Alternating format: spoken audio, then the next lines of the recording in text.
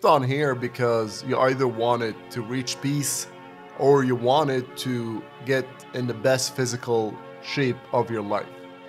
A little bit introduction about me. I'm a pharmacist, champion athlete, fighter, and I've been doing natural physique competition.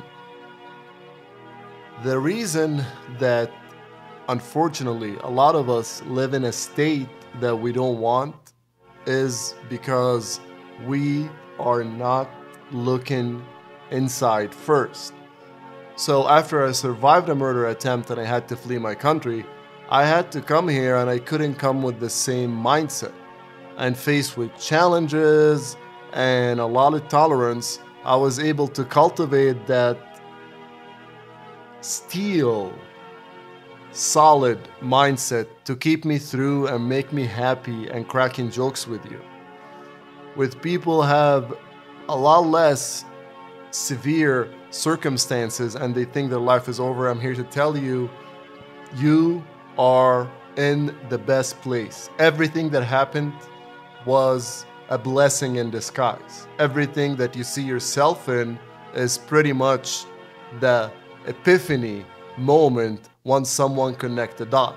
We start from the ground up, eating right, working out, and developing that thought and mindset and emotion pattern that free a lot of energy. Did you know that your brain, from my scientific perspective as a pharmacist, is 80% working on the background? So 80% of the energy, which is the most demanding energy organ in your body, is wasted on meaningless thoughts. And now we wonder why, after a long day of work, some of us are so motivated to go and grind even more, and some of us are so tired that we cannot even walk back or sit still. We have to just be in a numb state, watching and dulling our pain. Walking away from your own vices, you are locking this God potential in you. And as a person who's been graduated from a STEM education and had a stern experience, I'm here to teach you how to connect this to that, how to connect your thought, emotion, and feeling, which create your reality. You can believe that this is something that have no approach, but with detailed guidance one on one, going through your own thought pattern and your own trauma, this is costing you every single day. How many medical bills?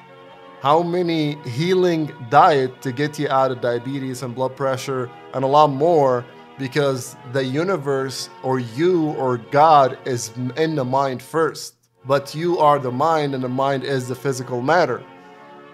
You have the option to turn your life around with someone who've been in a worse place, been survived a murder attempt, had to flee my own country, faced discrimination and harassment with boards, with different varieties of and I didn't take that personally. I thought is like there's always a reason to learn and I cultivated that mindset to break through any challenges that I see in my life.